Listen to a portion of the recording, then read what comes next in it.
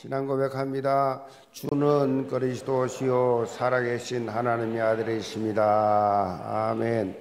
우리 해외 성도들 또 우리 온라인으로 예배 드리는데 예배를 내가 꼭 주일에 드려야 되겠다 하면 우리 교회는 본당뿐만 아니라 원리서울 비전홀 어, 많이 있습니다. 와서 예배를 드릴 수 있으니까 그렇게 예배를 들으시 바라고 또 이렇게 법적으로 20%밖에 못 들어온다 하니까 온라인 예배를 어쩔 수 없는 분들은 갑절로 은혜 받으시 바랍니다. 서로 우리 인사합시다. 직분을 통해서 나를 발견합시다.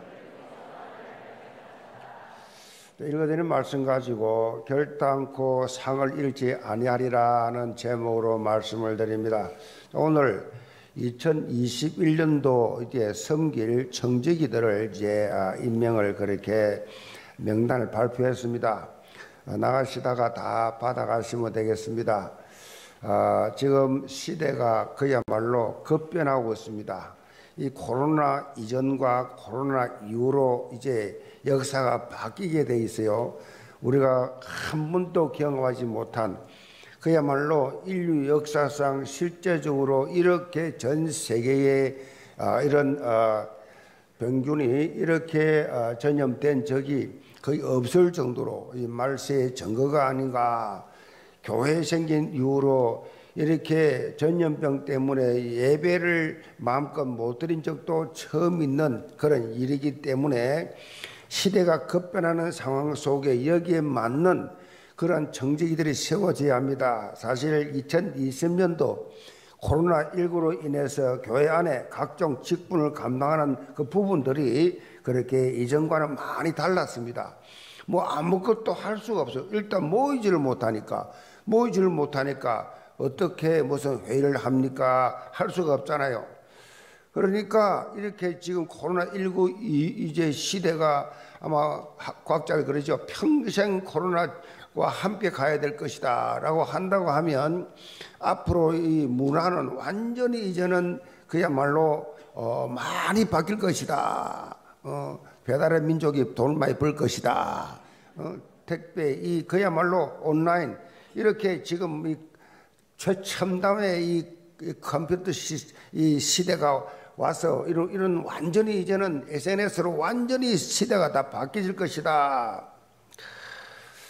아, 코로나19가 지금 기온이 떨어지면서 더 지금 확산이 되고 있습니다. 앞으로 다양한 그런 상황이 펼쳐질 것인데, 지난 주일날 말씀드린 것처럼 우리는 오히려 이런 문제를 모여 발판으로 삼아야 된다. 문제가 계속 오지만은 이걸 도리어 우리 신앙생활에 있어서 더 큰 신앙의 영적 성장의 발판으로 그렇게 삼아야 됩니다. 역경 상황 가운데서도 어떻게 하면 지역을 살리고 어떻게 하면 내게 맡겨있는 각 기관, 각 부서 이걸 부으실 것인가? 어떻게 하면 한 생명이라도 내가 맡은 기관에서 부서에서 내가 살고 있는 지역에서 생명을 살릴 것인가? 이 부흥의 역사. 이 시대에 맞는 이제는 지혜를 구해야 될 시간표가 왔다. 2021년도 정직기를 이제 어, 새해 시작하면서 한 달 전에 발표를 한 이유가 뭐냐? 한 달 전, 이제 12월 한 달 동안에 지역 각 기관, 각 부서마다 서로 뭐요? with, oneness, 재창조. 하나님께서 주신 이 기관 부서들을 그야말로 가장 중요한 하나 되게 하고 서로 교제하고 서로 사랑하고 서로 이해하고 서로 먼저 영적으로 무장하는 시간표가 되라. 딱 무장되어서 2021년도가 딱 그렇게 시작이 되면 2021년도 받을 응답의 플랫폼 그 이것을 먼저 구축을 해놔야 된단 말이에요. 그래서 새해가 시작되면 원단 메시지 붙잡고 담대하게 거침없이 이제는 막 현장을 향해서 직분 감당을 해 나가야 된다라는 의미예요. 특별히 이런 원리스의 시간과 함께 여러분이 개인적으로 영적 무장하는 시간을 가져야 돼요. 언약적 비전을 가져 품는 시간 가져야 돼요. 하나님이 2011년 새해 하나님 내게 새로 주는 새해에 대해서 새로운 비전을 허락하여 주옵소서. 어영부영 그냥 지난해 저지난해 그냥 살아왔던 그냥 막연한 그런 삶이 아니라 정말 이렇게 시대가 급변한 상황 속에 마지막 때의 증거들이 계속 드러나온 이때에 내 영적 무장이 새롭게 되어지가야 주옵소서. 이런 비전을 여러 품는 시간표가 되어야 돼요. 그래서 특별히 내게 주신 직분, 이 직분을 통해서 응답받을 나의 CVDIP, 이 언약을 통한 말씀의 성취, 이것이 실제적으로 내게 되어지는, 이걸 다 여러분 작성해 보세요. CVDIP를 가지고 다섯 가지 가지고 다 적어 보세요. 제가 늘 말씀드리지만은 막연한 기도는 막연한 응답받아요. 아시겠어요? 막연한 믿음은 막연한 것밖에 볼 수 없어요. 늘 막연해. 구체적인 기도, 제목, 세밀한 기도 제목, 머리칼 세시는 그 하나님 앞에 세밀하게 구체적인 기도, 그 믿음의 기도예요. 얼렁뚱땅 대가 2, 3, 7 보고 막 막연한 소리입니다. 이걸 하기 위해서 내가 어떻게 응답을 받아야 되고 내가 어떻게 서야 되느냐 말이에요. 이걸 세밀하게 구체적으로 그렇게 그런 응답 속으로 들어가시기를 바랍니다. 그리고 2021년도 모든 정직이들은 하나님께서 새롭게 오신 직분을 가지고 이 시대의 로마서 16장의 인물, 로마 16장의 그 인물이 어떻게 요? 언약적 비전이 되어야 됩니다. 이들이 어떻게 신앙생했는가? 이걸 나에게 언약적 비전을 품어야 돼. 로마 16장 인물들은요, 영적으로 더불 정체성을 가지고 있어요. 더불 정체성이 뭐냐? 그들은 전도자를 돕는다라는 정체성과 함께 나는 전도자를 돕는다라는 이거 이 사명과 함께 자신들 자신들도 복음 운동의 대열에 선자다라는 나도 세계보험하여 하는 일에 내가 대열에 서 있다라는 이 정체성을 가졌어요. 이들은 복음이 자신의 생명을 걸 가치 있다. 이거는 바울과 함께 이 세계모험 하는 데 있어서 이건 여기는 생명 걸 가치가 있다는 결론 내린 사람들이에요. 생명까지 내놨다. 생명까지. 생명을 걸 가치 있다. 이 정도 돼야 신앙생활 하는 맛이 나지. 뭐 취미 삼아 합니까? 내게 불리하면 안 합니까? 뭐 이런저런 이유로 그냥 뭐 소소한 일에 시험 됩니까? 그거는 성경이 말하는 신앙생활 아니에요. 그건 종교예요, 종교. 다른 종교 다 그래 해요. 그냥 내, 내 기분 따라서. 내, 내 취미 따라서. 신앙생활은요, 취미 따라 하는 게 아니에요. 여러분 기준이 아니에요. 생명 걸 같이 하셔야 돼. 생명 걸 같이. 우리 교회는 그런 분들이 많잖아요. 이렇게, 어, 수십 미터 교회를 이렇게 건축해 교회가 부흥되니까 자꾸 확장되어다 보니까 생명 걸는 자들이 그때 그때 일어났습니다. 안 일어나면 될 수가 없는 거예요. 생명을 가치를 가지고 교회를 위해서 올인한 것입니다. 그래서 자, 이 사라, 이 로마 신자 인물들은 전도자 발과 함께 생명 건 도전, 생명 살리는 도전을 했다 이 말이에요. 생명을 금과 동시에 엄청난 생명 살리는 평생 영원토록 아, 그 살아봐야 얼마나 살았습니까? 30년 또는 40년, 50년, 요한이 제일 오래 사는 90년, 100년 이내에 살아, 살면서 살려간 그것이 평생 2000년 동안 이름 불러가면서 2000년 동안 로마 시국장 인물 이 명단에 빠진 사람들은 말 것도 없고 영원토록 영원토록 하나님이 이 모델로 다 보여주면서 너희들도 이렇게 하면 이들이 받은 상급을 받을 것이다.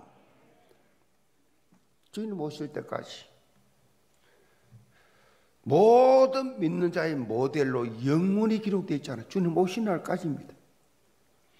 모든 믿는 자의 기도 제목이 될 정도로 시대적, 대표적, 기념비적인 축복의 대명사들이 다 됐어요.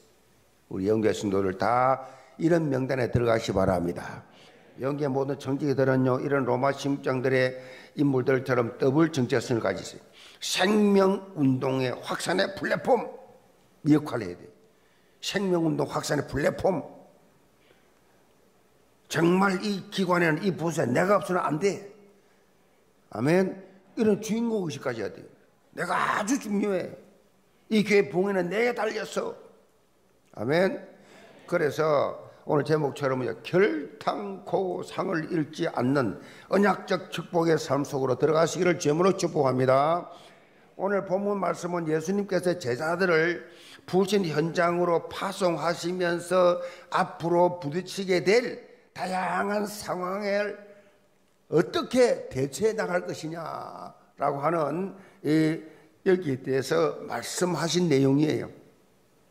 신앙생활 하다 보면 또 직분을 감당하다 보면 우리가 이해 못할 상황들이 발생합니다. 이해 못할 상황이 발생해요. 자, 이럴 때 중요한 것이 뭐냐? 이때 중요한 것이 오직 복음으로 들어가야 돼요. 오직 복음적 시각, 복음적 생각, 복음, 이 복음, 오직 복음이 돼야 돼요. 복음, 복음의 눈으로 바라보게 되면 무슨 말입니까? 이해 못할 상황이 없어요. 복음의 눈으로 바라보면, 영의 눈을 두고 바라보면 이해 못할 상황이 하나도 없어요. 용서하지 못할 사람 하나도 없어요. 아멘. 이거 이런 복음 복음의 눈 눈이 이렇게 중요합니다. 여러분이 복음으로 각인 뿌리 체질화 되는 만큼 원리스가 돼요. 왜 가정이 원리스 안 되느냐? 그 중에 하나는 복음이 안 돼서 그래요. 왜 교회가 원리스 안 되느냐? 교인들 중에 원리스가 안 되는 그 기관이 원리스 안 되는 이유 그 속에 복음이 안 돼가지고 복음이 복음의 시각이 없으니까 자기 생각, 자기 기준으로 율법으로 바라보니까 이해가 안 되는 거예요. 도대체 저 인간은 나하고 체질이 안 맞아. 저 사람 딱 마음에 안 들어. 이게 무슨 말이에요? 복음이 안 됐다는 거예요, 복음. 복음의 눈으로 보면 용서 못할, 이해 못할 사람이 없어요. 그 사람이 사랑하게 돼요. 나는요, 약점이 많은 사람일수록 더 좋아해요. 나는 그, 그렇게 매력을 보여, 그게. 약점이 매력을 보여. 근데 내 앞에서 완벽한 척 하면 우습게 보여. 완벽한 사람 보면 징그러워. 속이 다 보여, 싹 다 보여. 그 외, 철저한 오래전부터 그렇게 체질화된 외식이거든, 외식. 자, 자기, 자기를, 자기의 이, 어, 약점을 안 보이려고, 허점을 안 보이려고 감추거든요. 그거 다 보여. 그게 더 불쌍해. 차라리 내 모습 이대로 내오는 사람이 더 매력적이고 더 사랑스러워. 예수님도 그랬다니까요. 이 외식하는 이 바리새인들 세관들 아주 뭐 자기들은 뭐 굉장히 걸고하게 사는 것처럼 이 독사의 자식들 이 회치라 무덤들아 회치를 깨끗하게 속은 다 빼다 썩어 있잖아요. 그러니까 살인자보다 가늠한 여인보다 강도보다 도둑놈 세리보다 그들을 더 저주했어요. 아시겠어요? 하나님 앞에서 여러분이요 내 모습 이대로 복음의 눈으로 다 바라보게 되면요 어디서 안 될 수가 없어요. 그래서 피스메이커 하란 말이 그 말이 하평케 하는 자. 가든지 그냥 분위기를 천국으로 만드는 자. 이 하나님 아들의 그을 받을 것이요. 어디 가든지 이런 사람들 언제나 그래. 하나님이 막 쏟아부어준 축복을 눈에 보란 듯이 축복해 줘. 여기 이간 씨고 저기 이간 씨고 여기 이 말하고 저기 저 말하고 부정적인 사람 혼자 외로워. 아무도 없어 나중에. 되게 맞는 것 같지만 똑똑한 같은 거 아주 예리한 것 같지만 나중에 아무도 없다니까 주위에 왜 성경적 복음적으로 안 했기 때문에 그러니까 여러분들이요 무엇보다 여러분이 복음을 위해서 행한 모든 사역들인데 왜 그렇게 하느냐 그렇게 하고 나면 뭘 주시느냐 하나님의 상급을 주세요 상을 준다니까 나는 내 편하려고 사실 복음적으로 했는데 하나님 상을 주신다니까 이 성경의 사람은요, 막 신경전 벌리고, 막 시기하고 다투고, 막 이런 걸 아주 괴로워합니다. 하나 되는 게 편안해. 편안하지. 막 짜증내고 서로 막, 막, 서로 막, 저, 뭐 그렇게 뭐 시기하고 서로 막 경쟁하고 이런 거 싫어해요. 그런 거 하나, 그건 원치 않습니다. 그냥, 그냥 다 양보하고 말아버리지. 거기에 대해서 막, 목, 목이 막 핏대 내면서 막 어느 장관처럼 그래 안 합니다. 목이 핏대 다 나왔잖아요. 그러니까 그렇게 살지 않아요. 그렇게 살 필요가 없어요. 그러니까 우리 믿는 사람은요, 그렇게 하나님 앞에서 왜 그렇게 살면요, 약속이에요. 상을 주신다니까. 상이 뭐예요, 상이? 상이 뭐, 뭔 상이냐고. 이 땅에 살면서 나에게 필요한 나도 모를 정도로 그런 거 다 하나님이 미리미리 다 준비하시고 채워주신다. 그걸 체험해도 아 이걸 뭐라 그래요? 여호와 이래라. 하나님이 다 미리 준비해서 나에게 주시는 거구나. 어? 이거 아신단 말이에요. 그러니까 복음을 위해서, 교회를 위해서, 영혼구를 위해서, 교회 부흥을 위해서, 교회를 나를 위한 게 아니에요. 그렇게 하냐 하나님이 다 주시지. 좀 바보스러울 정도로 아무 생각이 없는 사람처럼 그래 좀 사세요. 그 성인도 잘 받아요. 내 생각이 많고 내 계획이 많으면요 평생 안 맞을 수가 있어. 틀린 시계는 하루 두 번은 정확하게 맞아. 이 어설픈 시계나 평생 안 맞아, 평생 안 맞아 그냥. 음. 그래서 우리 영교회가 237 나라 보건관리 이루는데 기둥같이 쓰임 받는 그러한 증거 있기를 점으로 축복합니다. 그럼 첫째로 복음이 우선되는 정직입니다. 34절을 봅니다. 내가 세상에 화평을 주러 온 줄로 생각하지 말라. 화평이 아니요 금을 주러 왔노라. 내가 온 것은 사람이 그 아버지와 딸이 어머니와 며느리가 시어머니와 불화하게 하려 함이니 사람의 원수가 집 자기 집안 식구리라. 본문의 말씀은 우리를 아주 당황하게 만듭니다. 어, 우리가 생각하기에 예수님은 화평을 주러 오신 화평의 왕으로 오신 분인데 어, 갑자기 화평을 주러 온 것이 아니라 금을 주러 왔다. 칼을 주러 왔다. 이렇게 말씀을 하고 있기 때문에 자, 마태복음 10장 12절로 12, 3절에 보면 예수께서 제자들에게 전도자로서 평안을 전하는 사명을 맡겼다고 말씀하고 있어요. 마태복음 5장 9절에는 화평하게 하는 자는 복이 있다 그랬어요. 이사야 9장 6절 보면 장차 오실 그리스도를 평강의 왕이다. 평강의 왕이다 예언했습니다. 그리고 누가복음 2장 14절에 보면 천군 천사가 예수님의 탄생을 알리면서 이렇게 찬양했어요. 지극히 높은 곳에서는 하나님께 영광이요 땅에서는 하나님의 기뻐하심을 입은 자들 중에 평화로다. 평화라 그랬습니다. 유대인들은 메시아가 오면 이스라엘의 영원한 평화가 평화를 가져다 줄 것으로 그렇게 믿었어요. 그런데 본문 내용은 오히려 평화를 준 것이 아니고 분쟁줄 주러 왔다. 정반대의 말씀하죠. 분쟁의 나 때문에 분쟁의 요인이 될 것이다. 도대체 이게 앞뒤가 안 맞는 그런 상황이에요. 이렇게 인간의 눈으로 바라볼 때는 우리가 이해 못할 상황들이 신앙생활하면서 많이 발생을 할 수 있어요. 여러분이 직분을 감당하다 보면 다양한 일들이 발생합니다. 도대체 저 사람이 왜 저럴까? 왜 저렇게 협조를 할까? 왜 저렇게 삐딱하게 나갈까?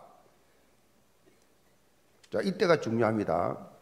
여러분이요, 어떤 시각을 가지고 그 사람을 바라보느냐에 따라서 문제가 발생하기도 하고 장애물이 되기도 합니다. 그래서 가장 중요한 겁니다. 지도자들은, 직분 맡은 분들은요, 직분 맡은 분들은 교사 직분을 맡아도 복음적 시각입니다.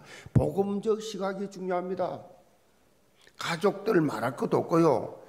여러분 직분을 맡아 일하다 보면 가족들은 여러분 본능적으로 잘하게 돼 있잖아요. 뭐 내 거니까 내 피, 내, 내 가족이니까 잘하지만 나오면 안 그렇다니까. 공격적으로 하는 사람 많아요. 뭐든지 간에 그 자기 의식이 너무 많아가지고 그러니까 그때 교회에서 복음적 시가 안 가지면 무조건 시험 들어요. 1년 못 갑니다. 직분. 자, 오늘 본문에 나오는 내용도 마찬가지. 복음이 선포된 현장에는 뭐요? 눈에 보이지 않는 영적 지각 변동이 일어나게 돼 있어요. 일어난다니 복음이 선포되면 복음이 선포 안 되면 괜찮아. 복음이 선포되면 영적 문제가 들어오기 시작합니다. 무슨 말입니까? 복음이 선포되는 순간에 영적 치열한 전쟁이 시작됩니다. 안전하면 아무 문제 없어요. 자, 예수님이 이 땅에 오신 것은 뭐요? 인간적인 평화를 위한 것이 본질이 아니라는 것이에요. 인간적 본질, 이 평화 좋은 본질이 아니에요. 하나님 떠난 인간. 자, 하나님 말씀에 불순종해서 하나님과 원수되어 있는 인간을 하나님과 화평하도록 평화하도록 하기 위해서 한 예수님이 오신 거예요. 전부 하나님과 원수예요, 지금. 그래서 이 땅에 참된 평화가 뭐예요? 이 땅에 참된 평화, 단순히 사람 간에, 국가 간에, 그런 분쟁이 아니에요. 이것만 말한 것이 아니에요. 이 땅에 이루어지는 참된 평화는요, 죄와 저주의 사단에 노예된 그 사람을 해방시켜 주신 것이 평화라고. 해방시켜 주는 것이 평화라니까요. 하나님과 원수된 인간 모 든 사람들 보세요. 마귀의 자식에서 하나님의 자녀로 그 신문과 권세를 회복해서 하나님과 영적 소통하는 삶으로 바꾸어 주는 것. 이게 진짜 평화예요.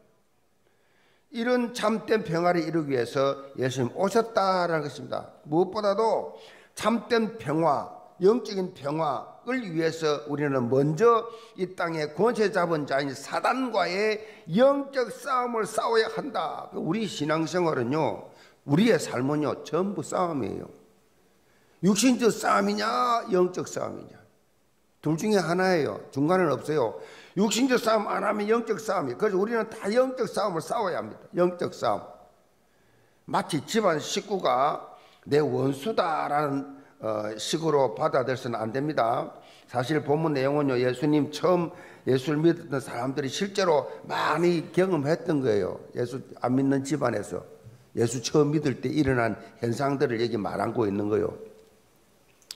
우상숭배가 뿌리 박힌, 제사가 뿌리 박힌, 그렇게 그런 그 집에, 그 부신 가정에서 누군가 한 명이 복음을 받았다.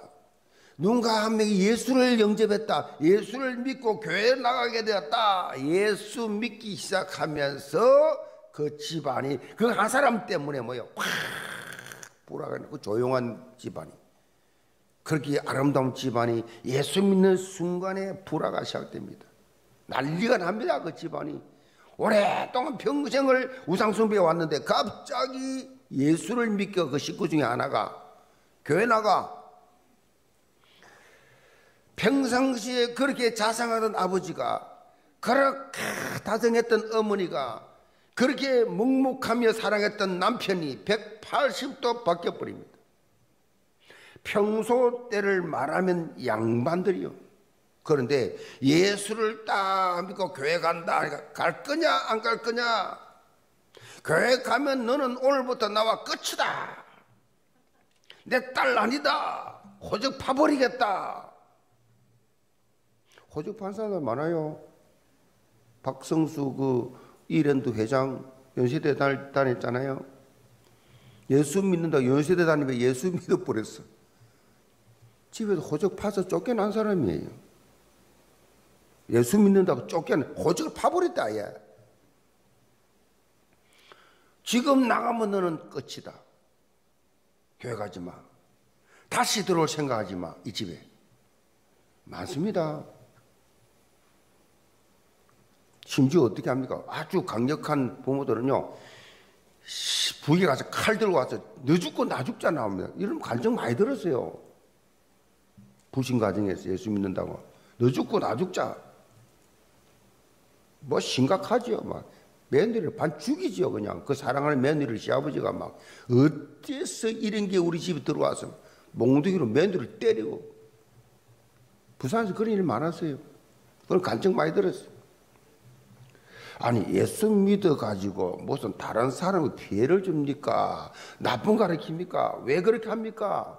이건 영적으로 봐야 됩니다. 영적인 부분을 보지 않고는 이해가 안 되는 거다. 그러니까 영적으로 이미 은혜를 받았기 때문에 시아버지가 때려도 남편이 핍박하고 부모가 핍박해도 그걸 다 받아들이는 거 왜? 아, 영적 싸움이다, 이거는. 원수가 서로 싸우는 게 아닙니다. 미워하는 게 아닙니다. 그러니까 예수 믿는 순간에 이미 치열한 전쟁이 시작된 겁니다. 시작된 거예요. 사단이 가만히 두지 않다. 왜냐? 영적으로 보세요. 예수를 믿지 않는 사람은요, 요한복음 8장 44절에 아비 마귀 그랬어요. 아시겠죠? 예수 안 믿는 사람은 전부 소속이 마귀 소속, 마귀 자식이란 말이에요. 그 어느 자, 어느 부모가 자기 자식 뺏긴 거 놔두겠어요? 마귀 입장에서 볼 때 지 새끼인데 지 새끼를 예수가 뺏어간단 말이요. 그 가만히 있겠습니까? 가만 안 두지요, 그냥. 처절하게 싸우지요, 그냥. 그 영적 싸움이란 말. 쉬운 게 아닙니다, 전도. 그래서 전도 어렵다는 사람 되게 어렵다 하잖아요. 영적 싸움이니까. 영적 무장도 안 된 사람이 전도 나가니까 어렵지. 조롱받지. 실패하지. 뭐 전혀 무장이 안 됐으니까. 그래서 훈련 받아라 하잖아요. 그 예수 믿는 사람, 뭐, 뭐, 어, 갑자기 예수님다 뭐온 가족이 다 벌떼같이 달아들면서 핍박하지요. 마치 부모 자식 간의 원수, 원수가 된 것처럼 만들어 버린 사단이. 그래서 예수님께서 이런 상황이 실제 일어날 거니까 영적으로 대비해라. 영적 대비하라. 그 말씀을 지금 하고 있는 거예요. 특별히 이런 상황 속에서 어떤 영적 자세를 취해야 하는지 계속 말씀하고 있어요. 37절입니다. 아버지나 어머, 어머니를 나보다 더 사랑하는 자는 내게 합당하지 아니하고 아들이나 딸을 나보다 더 사랑하는 자도 내게 합당하지 아니하며 또 자기 십자가를 지고 나를 따르지 아니하는 자도 내게 합당하지 아니하리라 자기 목숨을 얻는 자 잃을 것이요 나를 위하여 자기 목숨을 잃는 자는 얻으리라 무슨 말입니까? 참 어렵지요. 정말 복음이 우선되는 선택을 하라는 얘기예요. 복음 우선되는 선택을 하라고. 뭐 예수님이 가정 파괴하러 왔습니까? 부부 이간 시기가 이혼시키러 왔습니까? 부모 자식 간에 불효하도록 만들고 왔습니까? 그게 아니잖아요, 지금. 복음으로 따라가면 나중에 다 백배의 축복을 받게 될 것이다. 계속해서 말씀하고 계세요. 선택을 바로 해야 됩니다. 우선순위를. 복음 확산이 인생 최우선순위를 두어야 된다. 이 말이에요. 너가 살아가면서 구원받았으면 이제는 복음 확산하는데 우선순위를 둬라. 가정복음화부터 시작해서 세계복음화 여기 우선순위를 둬라. 이것은 영원히 사느냐 그렇지 못하느냐 이것이 큰 문제가 데 영원하냐 영원하지 못하느냐 영적 무지 무지를 영적인 이 무지한 사람 이거 알 수가 없어요. 그래서 신앙생활하면서 영적 심지가 견고해야 됩니다. 영적 심지. 뒤로 물러가지 말라 그랬어. 뒤로 물러가지 마라. 서로는 다, 백번다 양보해 줘라. 서로는 다 양보하고, 본론, 생명, 구원, 영혼, 본론 눈에 안 보입니다. 이거는. 양보하지 마라. 절대 양보하지 마라. 다른 거 다 양보해라. 이를 읽고자 하면 얻게 될 것이다. 양보, 다 양보하다 다 얻게 돼요. 택배로 갚아주신다고. 이런 상황은요, 비단 새롭게 예수 믿는 사람에게서 뿐만 아니라 정말 성경대로 복음을 전하려고 하면 전도자에게 이런 일이 일어납니다. 희한하죠. 오직 예수 그리스도 십자가 대속과 부활의 복음만을 증거한 초대교회. 초대 교회가 복음을 증거하니까 유대교가 일어나서 가만두질 않았어요. 이 교권이 일어나가지고 온갖 핍박을 하고 순교자가 속출했습니다. 예수 믿으면 잡아 가두든지 죽이든지. 이것은요, 예수님 당시나 사도 바울이 복음을 증거할 당시나 지금이나 마찬가지요. 예수 그리스도만 말하면 이상한 눈치를 쳐다봐요. 같은 교회 다니는데 자기도 그 교회 다니고 나도 이 교회 다니는데 예수가 그리스도다 예수만 말하면 이상한 눈초를 쳐다봐요 다른 것도 많은데 그러니까 사랑도 있고 구제도 있고 그 봉사도 있고 많은데 왜 니는 맨날 예수 그리스도 말하냐 그 밖에 모르냐 그 모르는 사람 어디 있냐 실제 하나도 몰라요 그 예수 그리스도 말하면 들을 때마다 가슴 벌렁벌렁 해야 되는데 아멘 예수가 그리스도라면 가슴 벌렁벌렁 해야 되는데 왜 그것만 자꾸 말하냐?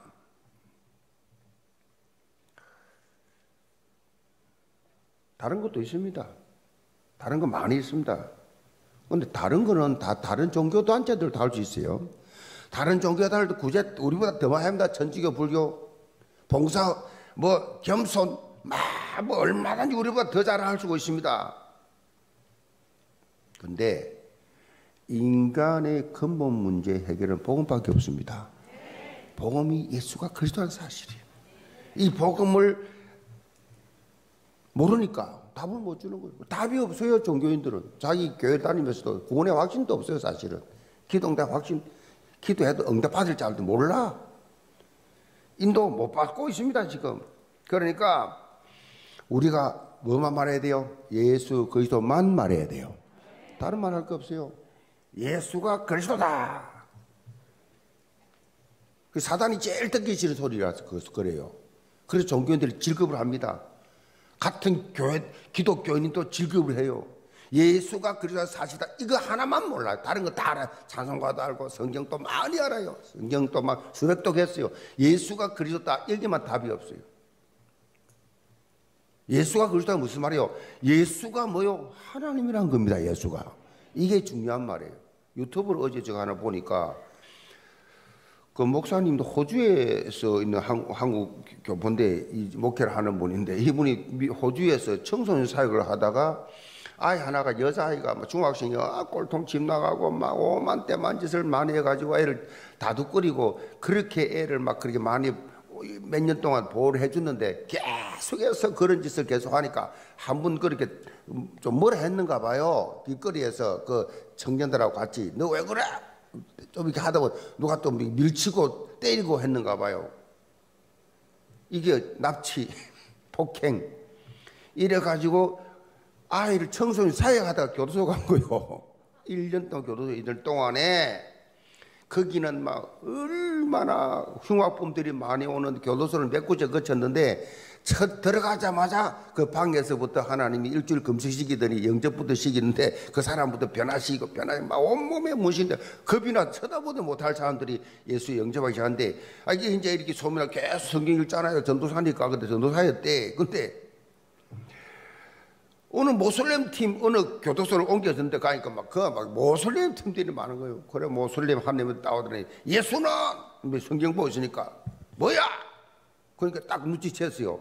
이놈들은 막 예수를 하나님이라 하면 죽이는 그 칼로 젤로 죽이는 겁니다. 그러니까 예수는 알러브 예수는 프렌드 막 이리로 나갔대요. 왜냐하면 아니까. 그래서 마지막에 마지막에 예수라 그러더래. 그래서 갓 그랬더니 예수 갓 그랬대. 그러니까 그때 찔러 죽여야 되는 상황인데 모슬렘 대빵이 왔대요. 사자 머리를 해가지고 사자 같은 똑 사자 같대요. 이런 놈이 하나 와가지고 자기가 어떻게 들어왔는지 뉴스가 막 났기 때문에 알고 있더래요. 그래서 그, 그 사람 때문에 살았다는 거예요. 그 교도소 안에서. 마귀가 모든 종교들이 제일 싫어하는? 예수가 그리스도라는 사실입니다. 예수가 인류를 구원하신 하나님이라는 사실을 가장 듣기 싫어하는 종교. 사단이 종교를 이용해가지고 이걸 말 못하게. 하나님께서 우리에게 이 시대의 사명을 주신 이유가 뭐냐? 왜 예언교회를 부르셨냐? 하고 많은 교회 중에서. 이 원색적 복음을 알고 증거하라고. 오늘 정경의 직분을 맡은 분들은 어떤 상황 속에서도 복음만 붙잡으시 바랍니다. 복음을 붙잡으시. 복음이 우선시되는 선택을 해야 돼. 그러면 여러분이 먼저 내가 살아나요. 내가 살아야 돼요. 내가 살고 상대방도 살리는 그러한 사역이 된단 말이에요. 변화가 아니라 변화, 변화. 여러분 지역에 이 살아납니다. 여러분 때문에 여러분 직장이 살아납니다. 여러분 때문에 결국은 믿음과 이제 승리하게 돼 있어요. 그렇게 핍박받은 며느리 하나 때문에 그 핍박받은 때리듯 시아버지가 전도자가 되고 싹 다 바뀌는 그런 감정들 얼마나 많아요. 생명이 있기 때문에 생명은 이기게 돼 있어요. 핍박받지만 생명은 다 정복하게 됐다. 영적 부흥이 일어나게 되어 있다. 괴일루만이라고 하는 말이 있습니다. 우리는 우리에게 좀 생소한 말인데 옛글에 자주 나옵니다. 이 괴일루만이 무슨 뜻이냐? 중요한 하나를 붙잡고 나머지는 다 흘러보낸다 그런 뜻이 괴일루만. 중요한 거딱 잡았으면 나머지 다 흘러보낸다. 여러분이 직분을 감당하거나 신앙생활 할때 오직 복음만 붙잡고 나머지 서러운 점을 다 흘러보내시 바랍니다. 그냥 흘러보내 그. 그러면 서로가 살고 교회가 살고 지역이 살고 민족이 그렇게 살아고 2, 3, 7나라를 살리는 주역으로 쓰임받게 된다. 이렇게 복음이 우선시되는 인생을 살면서 하나님 나라 확장과 산정인으로 멋지게 2021년도 청지기들 다 되시기를 제물로 축복합니다. 두 번째로 상을 잃지 않는 청지기입니다. 40절입니다. 너희를 영접하는 자는 나를 영접하는 것이 나를 영접하는 자는 나를 보내신 이를 영접하는 것이니라 선지자 이름으로 선지자를 영접하는 자는 선지의 상을 받을 것이 의인의 이름으로 의인을 영접하는 자는 의인의 상을 받을 것이 또 누구든지 제자의 이름으로 이 작은 자 중 하나에게 냉수 한 그릇이라도 주는 자는 내가 진실로 내게 노니 그 사람이 결단코 상을 잃지 아니하리라 하시니라. 전도자의 가치와 전도자로서의 이 삶을 사는 것이 얼마나 큰 축복인지를 여기서 말씀을 하고 있습니다. 전도자를 영접하는 것은 예수님을 모신 것 같다. 이런 말씀. 예수님 하고 있는 말씀이죠. 다시 말해서 복음 가진 전도자가 가는 현장은 예수님이 직접 가는 거는 마찬가지다. 예수님이 직접 하는 거 똑같다. 우리 보내시는 받은 자이기 때문에. 예수님의 제자이기 때문에 예수님 하시는 그대로 하는 겁니다. 그래서 우리는 따라서 우리는 그리스도의 정권 대사다. 그리스도가 할 것을 우리는 대신하는 겁니다. 이게 사역이에요. 이 직분이에요. 그리스도 할 것을 그리스도가 할 것을 내가 하는 겁니다. 이렇게 복음 가진 여러분이 가는 발걸음이 얼마나 가치 있는지 이거 놓치면 안 돼요. 내 자신의 가치는 말 것도 없고 내가 하는 사역이 자체가 얼마나 하나님 앞에서 가치 있는지 불신자가 볼 때는 아무것도 아니야. 허비하는 거 허비. 하나님께 드리는 모든 시간, 물질, 모든 것, 인생이 허비하는 거지만 가장 가치 있는 삶이에요. 우리가 교회 다니는 것 때문에 무슨 뭐 어, 가족끼리 모여가지고 어디 뭐 여행을 갈 수 있습니까? 주말이라 뭐 어때 갈수 못 가요. 음. 불신자 볼때 우스워 참 불쌍해. 그러나 여러분 상은 가장 가치 있는 삶에 투자하고 있는 거다. 그 그런 자부심 가져야 돼. 제가 과거 복음을 깨닫, 깨닫기 전에는요, 각 가정의 신방을 하면서 신명기 28장 말씀을 가지고 축복을 많이 빌어줬어요. 여호와 하나님의 말씀을 지켜 행하는 자를 세계 모든 민족에 뛰어나게 할 것이다. 그러면서 너가 내 하나님 여호와의 말씀을 청종하면 이 모든 복이 내게 임하며 내게 이르니 성읍에서도 복을 받고 들에서도 복을 받을 것이며 내 몸의 자녀와 내 토지의 소산과 내 짐승의 새끼와 소와 양과 새끼가 복을 받을 것이며 내 강주리와 떡반죽 그릇이 복을 받을 것이며 내가 들어와도 복을 받고 나가도 복을 받을 것이니라. 그 과거에는 그냥 복을 빌어주는 여기에 초점 맞췄어요. 그런데 복음을 깨닫고 나니까 이 말씀이 정말로 전도자에게 어떤 가치, 어떤 축복 임하는가를 발걸음 발걸음을 통해서 축복 임한 사실을 깨닫게 되었어요. 이게 그대로 전도자에게 임하는 겁니다. 들어와도 복을 받고 나가도 복을 받을 것이 이게 무슨 말입니까? 복음 가진 사람의 삶이 이렇다는 거예요. 들어가도 복이요, 나가도 복이다. 자, 여러분의 사역 현장에 이런 변화가 일어날 줄 믿으시 바랍니다. 특히 본문 41절로 42절에 보면 예수님께서 복음 가지고 전도자를 도우면 그것이 뭐예요? 냉수 한 그릇 주는 것이 아니라 주, 준다 할지라도 그 한 그릇이 할지라도 냉수 한 그릇이 뭐 그게 그렇게 대단합니까? 결단코 상을 잃지 아니에요.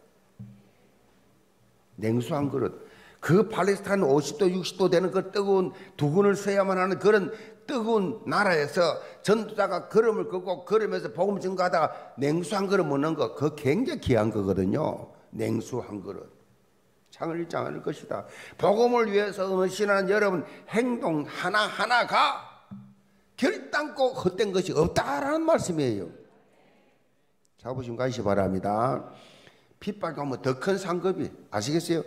억울한 일 당하면 더 큰 상급이 그 좋아 처음 한 사람이요 전혀 여러분은 흔들릴 이유가 없어요. 여러분이 교회 각 기관에서 각 부서에서 복음을 위해서 그렇게 섬기는 그 모습을 하나님이요 다 기억하고 계세요.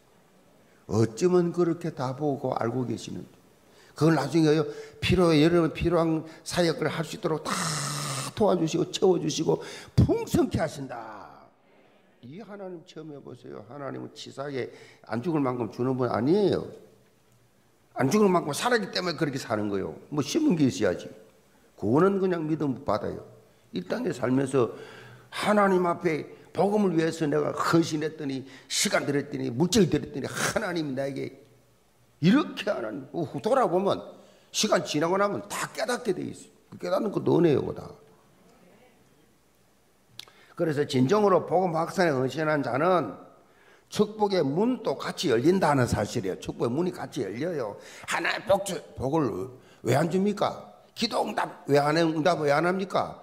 여러분 욕심 자기 정력에 서려고 자기 욕심에 겨워서 자기 편리를 위해서 오직 자기를 위해서 하나님 뭐 비서실장입니까?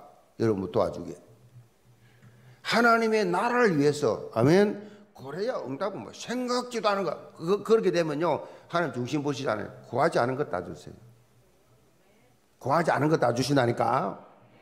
이런 좋으신 하나님. 그래서 좋으신 하나님. 참 좋으신 하나님. 이렇게 찬양하는 거예요. 좋으신 하나님 체험도 안 하고 뭐지 좋으신 하나님 찬양합니까? 할 수밖에 없으니까. 찬양할 수밖에 없으니까 찬양하는 거요. 너무 감격스러웠어. 우리 모든 청지기들 이런 응답 받기를 주님으로 축복합니다. 결론입니다. 악어가 울거리는 호숫가에 한 사람이 빠졌어. 악어가 막 울거려. 호수가 사람이 빠졌어. 사람들이 어쩔 줄 몰라고 막 그렇게 발을 동동 굴리고 있을 그때 갑자기 첨벙하는 소리 나서 사람들 첨벙하는 그쪽으로 쳐다보니까 한 사람이 확 들어가가지고 거기서 막 그 물에 빠진 그 사람을 손살같이 그냥 그 사람 빼가지고 그냥 그렇게 물 밖으로 나왔어. 사람들 이야 대단하다, 용감하다. 어떻게 저럴 수 있나? 박수 치고 환호를 했어요. 그래서 사람들이 찾아가서 물었어요. 어떻게 그런 용기가 났느냐? 이렇게 질문을 하니까 이 사람 화를 확 내면서 누가 날 밀었어? 밀었어? 이러. 누가 날 밀었다는 거요? 왜 할 수 없이 가가지고 막 내려온 거요? 누가 날 밀었어? 그랬어. 사람들은요, 특별히 한국 사람들은요, 자기 스스로 자기 스스로 나서기를 좋아하지 않습니다. 대부분이. 적극적인 부분이 많이 부족한 게 한국 사람이에요. 능력이 있는데도 본인 스스로가 자격지심이 잘 안 해요. 그래서 많은 사람들이 뭐요? 등에 떠밀려가지고, 떠밀려가지고 그렇게 나가요. 거기서 뭐 발견합니까? 어쩔 소리 짚고 맞다가 울면서 시작했는데 자기 달란트를 발견해요. 아, 하나님 께게 의였고 너무 부담스러워서 잠도 안 오는데 그걸 맡아서 할수 했는데 굉장한 응답. 제가 그랬다니까. 아, 청년에 구경을 앉았다가 누가 내일 불러. 내가 그 친구 뒤통수를 때렸다니까. 빨리 취소해라. 그랬다. 청년회 회장 후보, 후보 말하시니까 이 친구라고 딱 한 놈 아는 놈인데 이, 이 친구가 내 이름을 확 부르는 바람에 내가 깜짝 놀라가 뒤통수를 때렸다 내 앞에 앉아있어. 취소해라 빨리. 이게 지속한 데가 회장이 된 거요. 내 인생의 터닝 포인트가 여기 시작된 거예요. 엄청 부담됐어요. 사람을 두려워하는 내가 앞에가 인사, 회장 인사를 하는데 막 풀으라고 누르라고 앞에 하나도 안 보이고 빨간 벽돌이 싹 내려와갖고 멍해가지고 그렇게 연약한 내가 그 직분을 어찌 떠밀려가지고 막 떠밀려가 어쩔 수 없이 받았는데 그렇게 완전히 그렇게 변하십니다. 완벽한 자격을 갖추고 수임 받는 사람이 많지 않습니다. 하나님께서 서시는 기준은 내 능력이 아니에요. 무익하고 연약하고 이 무능한 이런 사람들을 뽑아가지고 강하고 유능하게 만드신다는 것이다. 왜? 하나님이 전능자니까. 똑똑한 놈 꼴을 보기 싫어합니다. 잘난 척 하는 거 싫어합니다, 하나님. 하기 싫어하는 거 억지로 억지로 그냥 잡아 당겨가지고 이 그렇게 하나님이 서시는 체질신가 봐요. 대부분이 다 그래요. 하나님께서 서시는 기준은 내 능력이 아니라는 사실이에요. 나는 약하고 나는 무능하고 가진 것도 없고 아는 것도 없지만 하나님의 전능하심이 붙는 순간에 끝나버립니다. 기독교 신앙을 바탕에 둔 행복론으로 유명한 스위스 사상가 법률가입니다. 칼 힐트라는 분 이런 말을 했어요. 인생 최고의 날은 자기 인생의 사명을 자각하는 날이다. 하나님이 지상에서 자신을 어떤 목적에 두려고 서시는지를 깨닫는 날인 것이다. 이 유명한 사람 이런 말 했다니까. 하나님이 이것입니다. 내, 나에게 인생 최고의 날은 자기가 누, 자기에게 사명 깨닫는 날. 자, 오늘 새로운 직분을 맡은 분들은 오늘 바로 인생 최고의 날 되기 바랍니다. 인생 최고의 날, 인생 완전히 직분에 올인하다 보니 가난도 물러가 질병도 물러가 모든 흑암이 싹 저주가 물러가고 하나님의 축복이 임하는 그런 걸 체험해 보시기 바랍니다. 새롭게 주어진 직분에 요소와도 떨었습니다. 두려워했습니다. 두려워하지 말라, 놀라지 말라, 떨지 말라. 하나님이 계속 요소에게 말씀하신 거예요. 갑자기 직분을 맡으니까 이제 하나님께서 요소에게 뭐라 했어요? 내가 너와 함께 하겠다. 함께 축복. 직분을 맡으면요. 하나님 함께 하신 증거가 나오게 돼 있어요. 함께 하면 뭐요? 확실한 승리가 보장됐다는 거예요. 보장되어 있다는 거예요.